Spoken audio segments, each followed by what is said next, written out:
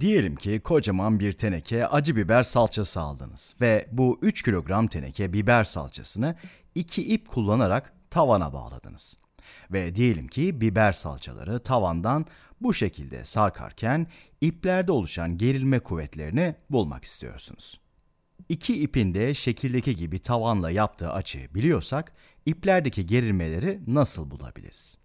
Bu zor bir soruya benziyor, değil mi? Bu tür sorulara nasıl yaklaşmamız gerektiğini anlamak için önce daha kolay gerilme sorularını nasıl çözdüğümüze bakalım. Ardından da zor sorulara doğru ilerleyelim. Böyle bir yol izlememiz gerekiyor. Çünkü kolay gerilme sorularını çözme yöntemimiz de bunun gibi zor soruları çözme yöntemimiz aynı. Çözerken siz de fark edeceksiniz. Detaylar farklı olsa bile sorulara genel yaklaşım yöntemimiz hep aynı olacak. O zaman önce kolay bir soruyla başlayalım. Şöyle kırmızı bir elmamız olsun ve sayıları aynı tutmak amacıyla bu elmanın kütlesine 3 kilogram diyelim. 3 kilogramlık elma tavana bir iple bağlanmış ve bu ipte oluşan gerilmeyi bulmak istiyoruz. Gayet kolay bir soru gibi duruyor. Diğer soruları çözerken kullandığımız yöntemin aynısını burada da kullanacağız. Kolay bir soru olmasına rağmen çözerken uyguladığımız adımların hepsinin üzerinden geçelim ve nasıl çözdüğümüzü inceleyelim. Merak etmeyin öyle uzun sürmeyecek. İlk olarak kuvvetleri çiziyoruz. Bu elma üzerine yer çekimi kuvveti etki ediyor. Çünkü dünya üzerindeki her şeye çekim kuvveti etki eder. Bu kuvvet de mg'ye eşit olur. Bunun dışında bir de gerilme kuvvetimiz var ve gerilme kuvveti cismi itmez. İple bir cismi itemezsiniz. Tam tersi çekebilirsiniz. Dolayısıyla gerilme kuvvetinin yönü yukarı doğru olmalı. Bunu T ile gösterelim. Gerilme sorularını çözerken ilk olarak bu adımı yapmamız gerekiyor. Her zaman önce kuvvet diyagramımızı çiziyoruz. Bir sonraki adımda Newton'un ikinci yasasını ya yatay eksende ya da düşey eksende, eğer zorunda kalırsak iki eksende de uyguluyoruz. O zaman Newton'un ikinci yasasını şöyle yazalım. Belli bir doğrultudaki ivme eşittir o doğrultudaki net kuvvet bölü kütle. İyi de burada hangi doğrultuyu seçmemiz gerekiyor? Bu soruda tek bir yön var. Dolayısıyla yatay eksende herhangi bir kuvvet verilmediğinden düşey doğrultuyu seçmeliyiz. Bu durumda ivme değerimiz ne olmalı? Eğer bu elma tavana asılı halde duruyor ve hareket etmiyorsa o zaman ivmesi de olmaz diyebiliriz. Çünkü olduğu yerde öylece duruyor. Eğer bu bir uzay mekiği ya da asansör olsaydı ivme yukarı yönde olurdu diyebilirdik. Hatta öyle bir durumda cismin sahip olduğu ivmeyi formülde yerine yazıp devam ederdik. Ama burada elma gibi tavana bağlı bir halde duruyorsa ivme değeri sıfıra eşit olur. Bunu da net kuvvet bölü kütleye eşitlememiz gerekiyor. Şimdi yukarıya doğru bir gerilme kuvvetimiz var. Formülde net kuvvet yerine ne geleceğini belirlemek için az önce çizdiğimiz kuvvet diyagramını kullanmalıyız. Bu diyagram bizim için en önemli şeylerden biri. Öyle süs olsun diye çizmedik yani. Bu diyagram sayesinde Newton'un ikinci yasasını yazarken net kuvvet yerine ne yazmamız gerektiğini hesaplayabiliyoruz. Diyagramda olmayan bir kuvveti formüle yerleştirmiyoruz. Aynı şekilde diyagramda olan bütün kuvvetleri formülde yerine koymamız gerekiyor. Peki bu kuvvetleri formüle nasıl yazacağız? Gerilme kuvvetinin yönü yukarıya doğru. Formülde de düşey doğrultudaki net kuvveti hesaplıyoruz. Şimdilik yukarı yönü artı olarak kabul edelim. O zaman gerilme kuvvetini yazarken artı gerilme olarak yazmamız gerekiyor. Buradaki mg'yi nasıl yazacağız? mg'nin yönü aşağı doğru. Dolayısıyla eksi mg olarak yazıyoruz. Bütün bunları da kütleye bölüyoruz. Şimdi tek yapmamız gereken gerilmeyi yalnız bırakmak. Gördüğünüz gibi bütün süreç aslında bu iki adımdan ibaret. İlk olarak kuvvet diyagramını çiziyoruz. Ardından Newton'un ikinci yasasını kullanıp istediğimiz kuvveti hesaplıyoruz. Bu durumda gerilme kuvvetini hesaplamamız gerekiyor. Her iki tarafı m ile çarparsak sol taraf hala sıfır kalıyor. Öyleyse geriye sıfır eşittir t eksi mg kaldı. t'yi yalnız bırakırsak hiç şaşırmayacağınız bir sonuç elde ettiğimizi göreceksiniz. Gerilme eşittir mg elde ettik. Ama bunu zaten soruya baktığımızda görüyorduk değil mi? Gerilmenin yer çekimini dengelemesi gerekiyordu. Dolayısıyla mg'ye eşit olacağını baştan beri biliyorduk. Neden bu kadar zahmete girdik ki? Bu soruda gerilmenin mg olduğunu kolayca görebiliyorduk ama gerilme her zaman mg olmayacak. Ve az önce uyguladığımız süreci düzgün bir şekilde uygulamamız gerekecek. Öyleyse soruyu şöyle değiştirip tekrar çözmeyi deneyelim. Mesela yukarıda iki gerilmemiz olsun. Ya da şöyle bir şeyle başlayalım. Diyelim ki ipi aşağı çekiyoruz. Elmayı altından aşağı doğru çektiğimizi düşünelim. Çekerken de 5 Newton'luk ekstra bir kuvvet uygulamış olalım. Elmayı aşağı çekerken ipi de çekmiş oluruz. İp de daha çok geriliyor değil mi? Böyle bir durumda ne yapmamız gerekir? Diyagrama bir kuvvet daha eklenmiş oldu. Onu da şöyle ekleyeyim. Aşağı doğru 5 Newton'luk bir kuvvet. Bunu da formüldeki net kuvvete eklerken eksi 5 Newton yazmamız gerekiyor. Çünkü kuvvetin yönü aşağı doğru. Az önceki gibi hesaplamalarımızı yaparsak her iki tarafı m ile çarpalım. Buraya da bir eksi 5 Newton gelecek. T'yi yalnız bırakmak için her iki tarafa mg ve bu sefer bir de 5 Newton eklersek yeni T değerimizi bulmuş oluruz. Değerleri de yerlerine yazalım. Kütlemiz 3 kilogramdı. O zaman 3 kilogram çarpı yer çekimi ivmesi aslında 9,8. Ama işlem kolaylığı açısından şimdilik 10 olarak kabul edelim. 10 metre bölü saniye kare. Böylece ondalıklarla uğraşmamış oluruz. Bir de artı 5 Newton diyeceğiz. Elma tek başına tavandan sarkarken gerilmeyi mg olarak bulduk. Ama bu durumda ekstradan aşağı doğru 5 Newton'luk bir kuvvet uyguladık. 30 artı 5'ten yeni gerilmeyi 35 Newton olarak hesapladık. En kolay durumda gerilme eşittir mg oldu. Ama ekstra kuvvetler olduğu zaman sadece mg'ye eşit olmadı. Mesela eğer bu elmayı diğer iple aynı yerden yukarıya doğru başka bir ip daha çekseydi, bu durumda yukarıya doğru çeken iki gerilmemiz olurdu. Şimdi yukarıya doğru bir gerilme daha eklemiş olduk. Peki, gerilmeyi bulmak için ne yapmamız gerekiyor? Formüle bir t daha eklemeliyiz. Bu da diğeri gibi artı t olur. t artı t'den 2t buluruz. t'yi yalnız bırakmak için 35 Newton'u 2'ye bölmemiz gerekiyor. Soruları bu şekilde gittikçe zorlaştırabiliriz. Daha çok ip ekleyebiliriz veya ekstradan kuvvetler uygulayabiliriz. Ama her seferinde farklı bir şey yapmış gibi gözüksek de aslında aynı çözüm yöntemiyle sonuca ulaşıyoruz. İlk olarak kuvvet diyagramı çiziyoruz. Ardından Newton'un ikinci yasasını yazıyoruz. Kuvvetleri formüle doğru bir şekilde yazdıktan sonra bulmak istediğimiz kuvveti yalnız bırakıp çözüme ulaşıyoruz. 35 bölü 2 sonucu size hiç de yabancı gelmiyor değil mi? Aşağı doğru olan toplam kuvvet 35 Newton. Çünkü burada 30 Newton'luk bir ağırlık var. Yukarıya doğru olan toplam kuvvet de 35 Newton olmalı. Ve eğer bu ipler aynı noktadan bağlanmışsa ikisi de aynı miktarda ağırlık taşıyacak. Ve toplamları 35 Newton edecek. İkisinin de aynı miktarda ağırlık taşıdığını biliyoruz. 35 Newton'u aralarında eşit bir şekilde dağıtırsak sonucu 35 bölü 2 Newton olarak buluruz. Evet, bu karşınıza çıkabilecek kolay sorulardan biriydi. En başta daha kolaydı ama gittikçe biraz daha zorlaştı. Daha da zorlaştırmak için işin içine bir de açı ekleyelim. Hatırlayalım. Videonun başındaki acı biber salçası sorusu da açılı bir soruydu. O soruyu çözebilmek için açılı sorulara da bakmamız gerekiyor. Şöyle bir kara tahtamız olsun diyelim. Bu tahtayı bir yatay bir iple, bir de açılı bir iple tavana bağlamışız. Böyle bir soruyla karşılaştığımız zaman ne yapmamız gerekiyor? Böyle bir durumda farklı bir şey yapacakmışız gibi geliyor olabilir. Ama aslında bir önceki soruyu çözdüysek bunu da aynı şekilde çözebiliyoruz. İlk olarak kuvvet diyagramı çiziyoruz. Yer çekimi kuvveti her zaman gibi mg'ye eşit ve yine aynı sayılarla uğraşmak için kara tahtanın kütlesine bu sefer de 3 kilogram diyelim. Pekala başka neyimiz var? Sağ çapraza doğru bir gerilme kuvvetimiz var. Ama bildiğiniz üzere gerilme kuvvetinin yönü tahtaya doğru olmayacak. Gerilme itmez, tam tersi gerilme çeker. Öyleyse bu gerilmeye T1 diyelim. Bu kuvveti de diyagramımıza ekleyelim.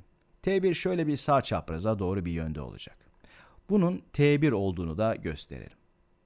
Burada bir kuvvetimiz daha var. O da tahtanın solundaki yatay gerilme kuvveti. Aynı şekilde bu da itmiyor. Bu bir ip sadece çekebilir ve bu durumda tahtayı sola doğru çekiyor. Buna da T2 diyelim. Kuvvet diyagramımızda da T2 şu şekilde sola doğru olmalı. Elimizdeki bütün kuvvetler bunlar. Gördüğünüz gibi burada herhangi bir normal kuvvet yok. Ama insanlar normal kuvvet çizmeye çok alıştığı için bazen buraya bir de şu şekilde normal kuvvet çiziyorlar. Sakın ha, bu doğru değil. Tahtaya değen herhangi bir yüzey yok. Yalnızca iplerle duvarlara bağlı duruyor. Tahtayı havada tutan tek şey T1 kuvvetinin düşey bileşeni. İşte bu kadar. Elimizdeki bütün kuvvetleri çizmiş olduk. Bundan sonra ne yapıyorduk? Elma sorusunda ne yaptıysak aynı şekilde yine onu yapmamız gerekiyor. Newton'un ikinci yasasını yazıyoruz ve ivme eşittir net kuvvet bölü kütle diyoruz. Burada hangi doğrultuyu seçmemiz gerektiği de çok açık değil. Burada hem düşey hem yatay kuvvetlerimiz var. Bu noktada şöyle bir tavsiyede bulunacağım. Öncelikle bildiğiniz bir şeyden başlayın. Mesela bu soruda kütlenin 3 kilogram, yer çekimi ivmesinin de 9,8. Ama şimdilik 10 olarak kabul ettiğimizi biliyoruz. Bu kuvvetin değerini bildiğimiz için hatırlayın bir önceki soruda bu kuvveti 30 Newton olarak bulmuştuk. 3 kilogram çarpı 10 metre bölü saniye kare eşittir 30 Newton demiştik. Düşey doğrultudaki bu kuvveti artık bildiğimiz için ilk önce bu doğrultudaki kuvvetlerle başlayacağız. Çünkü zaten düşey mg kuvvetini biliyoruz. O zaman ivmeyi ilk olarak y doğrultusunda, aynı şekilde net kuvveti de y doğrultusunda inceleyerek çözüme başlayalım. Eğer hata yapıp başka bir doğrultudan başlarsanız dünyanın sonu değil merak etmeyin. Hemen diğer doğrultudaki kuvvetlere bakın. Zaten seçebileceğimiz iki yön var. Biri işinize yaramazsa hemen diğer yöne geçin. İlk olarak düşeydeki ivmeye bakıyoruz. Tahtanın dengede olduğunu da söyleyelim. İplerle duvarlara bağlı ve hareketsiz bir şekilde duruyor. O yüzden bu durumda bir ivmenin varlığından söz edemeyiz. Ama eğer olsaydı var olan ivmeyi formülde yerine yazmamız yeterli olurdu. İvme olması soruyu o kadar da çok zorlaştırmıyor. Sıfır eşittir sırada net kuvveti yazmak var düşey doğrultudaki kuvvetlerimizi yazmamız gerekiyor. Bir tanesini biliyoruz. Aşağı doğru 30 Newton. O zaman eksi 30 Newton yazıyoruz. Çünkü kuvvetin yönü aşağı doğru. Aşağıyı eksi, yukarıyı da artı olarak kabul ediyoruz. Burada eksi 30 Newton mg'yi ifade ediyor. Bunu eksi mg olarak da yazabilirdik. Peki, başka hangi kuvvet var? T1 de var değil mi? T1 de yukarıya doğru ama T1'in hepsini buraya ekleyemeyiz. Çünkü kuvvetin hepsi yukarı yönlü değil. T1'in hepsi yukarı doğru olsaydı o zaman doğrudan artı 1 yazabilirdik. Ancak öyle bir durum yok. Sadece bir kısmı yukarıya doğru. T1'in bu kısmı sağa doğru bakıyor ve tahtayı sağa doğru çekiyor. Bu kısmı ise yukarı doğru çekiyor. T1'in yukarı doğru olan bu bileşeni tahtayı havada tutan kuvvet. Çünkü bu bileşen yer çekimine karşı geliyor. Buna y doğrultusundaki t1, buna da x doğrultusundaki t1 diyelim. O zaman formüle y doğrultusundaki t1'i eklememiz gerekiyor. İşte bu kadar. y doğrultusunda yalnızca bu iki kuvvet var. T1x düşey bir kuvvet değil, tam tersi yatay bir kuvvet. Aynı şekilde T2 de yatay bir kuvvet. Dolayısıyla formüle yalnızca T1y ve mg'yi dahil ettik. Çünkü y doğrultusundaki ivmeyi hesaplıyoruz. Şimdi bunları bir de kütleye bölüyoruz. Her iki tarafı kütle ile çarparsak m çarpı 0 0 eder. Geriye 0 eşittir eksi 30 Newton artı T1Y kalır. Öyleyse artık T1Y'yi hesaplayabiliriz. T1Y'yi yalnız bırakmak için her iki tarafa 30 ekleriz ve T1Y'yi artı 30 Newton olarak buluruz. Aslına bakarsanız bu gayet mantıklı bir sonuç yer çekimini dengeleyen bir T1Y kuvveti var. Dengelemesi gerekiyor çünkü düşey doğrultudaki ivme zaten sıfır. O zaman T1Y yer çekimi kuvvetiyle aynı büyüklüğe sahip olmalı değil mi? Burada aynı büyüklükte çizememişim onun için kusura bakmayın. İkisinin de birbirini dengelemesi gerektiği için her iki kuvveti de aynı uzunlukta çizmem gerekirdi. Ama bu bize yalnızca T1Y değerini verdi. Bizim bulmak istediğimiz T1 gerilme kuvvetiydi. T1 ve T2 gerilmelerini nasıl bulabiliriz? Bizim asıl bulmak istediğimiz bu iki gerilme değerleri. Bileşenlerini bulmak bize yetmiyor. İpteki gerilmeyi bulmamız gerekiyor. Buradaki T1Y bileşeni ile T1 gerilmesi arasında bir ilişki var. O ilişkiyi de buradaki açı sağlıyor. Aralarındaki ilişkiyi de şöyle yazalım. T1'ye buradaki açı her neyse trigonometri kullanarak şöyle diyebiliriz. Sinüs teta eşittir karşı kenar bölü hipotenüs. Bu durumda açının karşısındaki kenar T1y'ye eşit. T1y bölü buradaki hipotenüs de bize toplam gerilmeyi veriyor. Yani gerilmenin toplam kuvveti hipotenüs kenarına eşit. Bu durumda da toplam kuvvet T1'e denk geliyor. Şimdi burada T1'i yalnız bırakmamız gerekiyor. Her iki tarafı T1 ile çarparsak sol tarafta T1 çarpı sinüs teta bir de iki tarafı da sinüs teta'ya bölersek geriye T1 eşittir y doğrultusundaki T1 bölü sinüs teta kalır. T1 y'nin değerini az önce bulmuştuk. 30 Newton'a eşitti. 30 Newton bu yukarı doğru olan kuvvetimiz. T1'in düşey bileşeni 30 Newton olmalıydı. Çünkü yer çekimi kuvvetini dengelemesi gerekiyordu. Bölü buradaki açının sinüsü. Ama bu açıya dair bir şey biliyor muyuz? Soruda ipin tavanla yaptığı açının 30 derece olduğu verilmiş. Eğer şu şekilde bir üçgen çizersek amacımız zaten buradaki açıyı bulmak. Burası 90 derece olduğuna göre bu açı 30 sa o zaman diğer açı 60 olmalı. Hatta eğer burası 60 derece ise burası dik açı olduğu için geriye 30 derece kalıyor. O halde buradaki açının 30 derece olduğunu bulmuş olduk. O da az önce çizdiğimiz üçgendeki teta açısı olduğu için teta yerine 30 yazabiliriz. 30 derecenin sinüsünü almamız gerekiyor. 30 Newton bölü sinüs 30'dan hatırlayın sinüs 30 1 bölü 2 ediyordu. T1'i 60 Newton olarak buluyoruz. Bu sonuç biraz çılgınca gelmiş olabilir. Nasıl olur da T1 60 Newton çıkabilir? 60 Newton mu? Tahtanın ağırlığı yalnızca 30 Newton'du. Nasıl olur da ipteki gerilme 60 Newton olabilir? Eğer bunu tavana tek bir iple bağlamış olsaydık ve kütle merkezinden geçen bir iple tavandan sarkıtsaydık ipteki gerilme 30 Newton olurdu. Nasıl oldu da ipteki gerilme 60 Newton oldu? Bak, bunu şöyle açıklayabiliriz. T1'in y doğrultusundaki bileşeninin 30 Newton olması gerekiyor değil mi? Çünkü elimizde yer çekimi kuvvetini dengeleyebilecek bir tek bu kuvvet var. Ama bu gerilmenin yalnızca bir kısmı. Toplam gerilmenin bir kısmı 30 Newtonsa bütün gerilmenin 30 Newton'dan daha fazla olması gerekiyor. Ve bu durumda toplam gerilme 60 Newton oluyor. İp tavanla belli bir açı yaptığı için toplam gerilme 30 Newton'dan daha büyük olmalı. Y doğrultusundaki bileşeni yer çekimi kuvvetine eşit ve toplam gerilme bu değerden daha büyük. Peki T2'yi nasıl bulabiliriz? Bunun için tabii ki yeni bir yöntem üretmemize gerek yok. Bunu da aynı şekilde hesaplayabiliriz. Diyeceğiz ki yatay doğrultudaki ivme eşittir, yatay doğrultudaki net kuvvet bölü kütle. Gördüğünüz gibi diğer gerilme kuvvetini bulmak için yine Newton'un ikinci yasasını kullanıyoruz.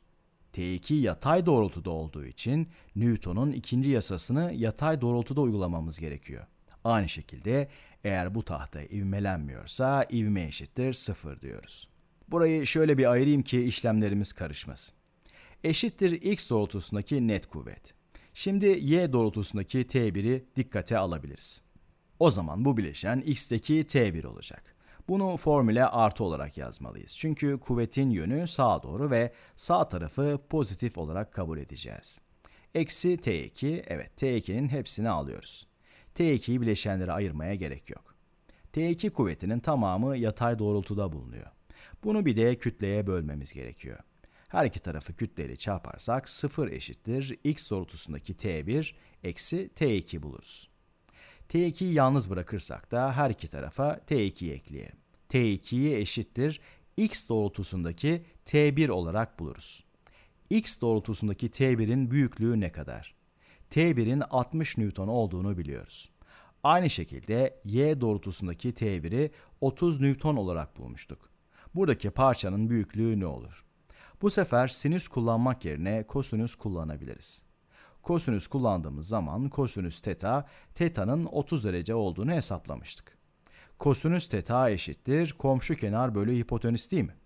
Komşu kenar burada t1 x bölü hipotenüs. Bu üçgendeki hipotenüs ise t1'e denk geliyor. Ve t1'in ne olduğunu biliyoruz. 60 Newton değil mi? Artık t1x'i yalnız bırakabiliriz. Her iki tarafı 60 Newton'la çarparsak x doğrultusundaki t1 x eşittir 60 Newton çarpı kosinüs 30 elde ederiz.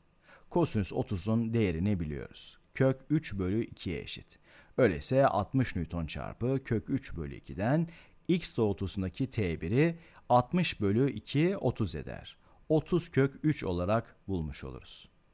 Böylece t1x'i elde ettik. t1x'i yukarıda yerine yazarsak 30 kök 3 Newton, yatay doğrultudaki Newton'un ikinci yasasına göre T2'nin de bu değere eşit olması gerekiyor. Dolayısıyla T2'yi de 30 kök 3 Newton olarak bulduk. İşte bu kadar. T2 eşittir 30 kök 3 Newton oldu. Aslında bu o kadar da şaşırtıcı bir sonuç değil. Yatay doğrultuda ivmelenme olmaması için buradaki T2 kuvveti T1x kuvvetine eşit olmalı. Yatay doğrultuda yalnızca iki kuvvetimiz var. T1x'i 30 kök 3 Newton olarak bulmuştuk.